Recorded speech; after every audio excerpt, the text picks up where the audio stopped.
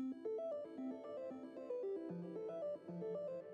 The moon is our closest cosmic neighbor, and it has some pretty amazing effects on the Earth, like the tides, and how and when the sea comes up onto the shore. But now a new study suggests that the moon may also have a pretty big impact on our sleep patterns as well. Researchers tracked 850 participants' sleep patterns with polysomnography, taking readings on when their sleep began, how long it lasted, and their sleep quality over several years. And they found men slept worse during periods of the lunar cycle referred to as waxing, or when the moon is building in its brightness as it reaches a full moon. Men had less quality sleep and were awake for 20 more minutes on average during these periods. Female participants had less noticeable results, but were still awake for 12 minutes more during waxing periods on average as well. The researchers say this could be due to the fact that waxing moons get brighter each day, but they also suggest, quote, besides light, circadian rhythms controlling sleep timing and quality are affected by non-photic cues, including gravity, meaning just like the tides, the moon's mass may also have an effect on mankind's sleep as well.